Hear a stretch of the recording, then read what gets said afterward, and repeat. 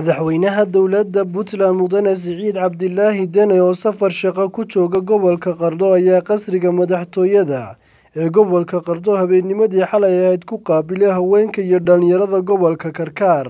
Haweenka iyo dhalinyarada gobolka karkaar ayaa madaxweynaha uga mahad celiyey waxqabadka dowladdiisa sida dib u dhiska ciidamada hirgelinta dimuqraadiyadda tashilka maaliyadda kaabayaasha dhaqaalaha xarumaha arrimaha bulshada iyo sida dowladdu door muhiim ah haweenka iyo dhalinyarada uga siisay hogaaminta iyo matalaadda dowladda puntland.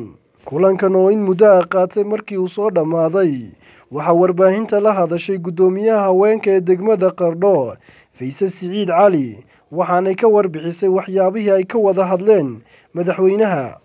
Bismillaahi raxmaan raxiim waxaan halkan kulan ku wada qaadanay madaxweynaha puntland oo kulan ballaaran aan ku wada qaadanay haweenka iyo dhalinyarada gobol karkaar baahiyaha weyn ka jira gobolka ilaa heer degme ilaa heer gobol uu naga xog waraystay.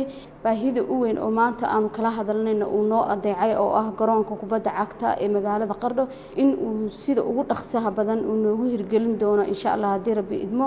Waxaan uga mahad celinayaa madaxweynaha sida quruxda badan uu noogu jawaabay oo ahayd inuu nagala qayb qaatay dhalinyarada isxog waraysigii uu naga dhageystay uu nooga jawaabay si aada u qurux badan oo aanu caawa ku qanacnay aan ka sugaynay kana filaynay kana rajaynaynay.